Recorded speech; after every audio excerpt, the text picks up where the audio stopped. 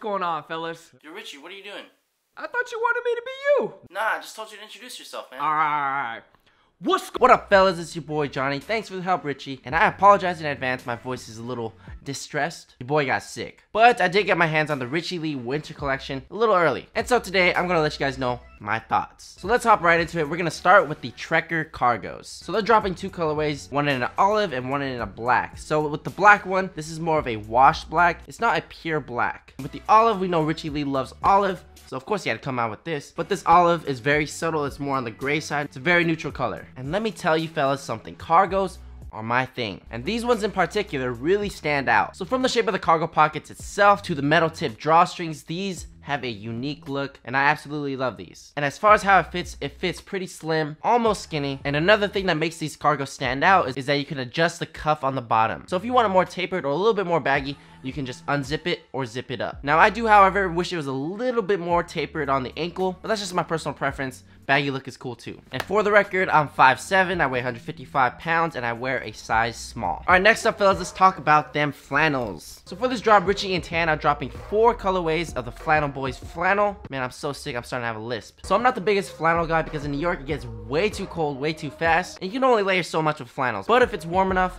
I'm with it. So we got four colorways this time. Two of them are very similar to the ones in the past. We got the mustard yellow, we got the green and cream mix from before, also a black and white one, and the last one is a unique dark flannel. I haven't really seen this pattern before. It's got some purple, it's got some red, it's got some blue, and a little bit of green. It's a dope blend of colors, and it works really well. So for the fit of these, these are a standard fit, not a drop shoulder. And the reason why I love flannels is it's the best layering piece. For fall and winter, it adds that pop of color. It looks great over a hoodie or over a tank top. You can just tell that there was a lot of hard work put into these flannels. They are a bit thinner than the flannels that I have, but I wear a size medium with these. These are dope. Speaking of hoodies, they are also dropping hoodies. Now hoodies are my staple, my favorite, the clothing item that every fella needs in his wardrobe. It's the first basic that you should gravitate towards whenever it comes to layering. For those of you guys that skate or used to skate, it's like mastering the ollie, bro. You can't expect to land a tray flip if you don't even know how to ollie in the first place. Just like you need a hoodie to create some fire outfits. And don't you see I can't skate, bro. I can land trays all day, bruh.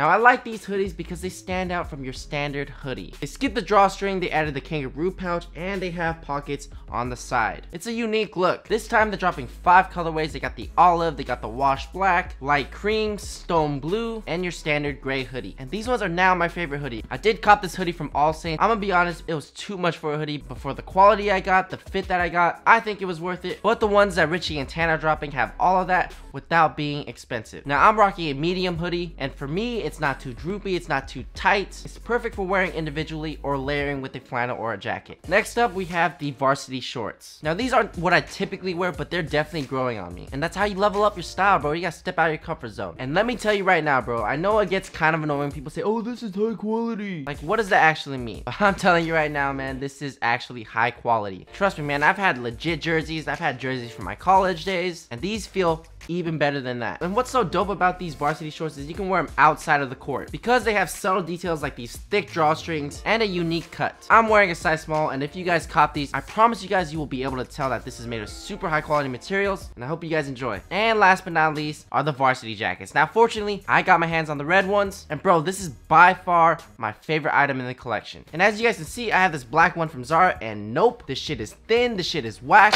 It sucks. I paid 70 bucks for that bullshit because I didn't know any better. These ones though, they might be a bit more pricey, but it is definitely worth it for the materials and how long it's gonna last. This shit, I feel like... So this is made out of a thick wool material with a satin lining. Bro, just look at the inside of this jacket, man. I'm telling you is dope. The fit is true to size. I'm wearing a medium, and it's just the subtle details, man, that I really love. The varsity stripes are cream. We got two inside pockets on this jacket, and these ones don't have the white stripes on the shoulders, but I think it's totally cool, especially on the red one because I think it'll be a little too much. But I couldn't be more happy with getting this jacket. I know it's super limited, so make sure you guys get on the website super early. And if I were you guys, I would try and cop these ones first. So all these pieces are dropping tomorrow, January 4th at 8 a.m. Pacific time. For my New Yorkers, that is 11 a.m. Make sure you guys are are ready to cop. And once again, I want to thank Tan and Richie for dropping these dope pieces and putting in the work, man. I know the shit is tough, man. And for me, I'd rather support the YouTubers that have influenced me, and you guys should too. So if you guys found this video helpful or informative, let me know by hitting the like button. Go and follow me on Instagram. It is Fly with Johnny Thai. Subscribe to this channel if you haven't already, and leave your comments down below on the next type of video you guys want to see. And until then, hopefully my voice still ain't distressed.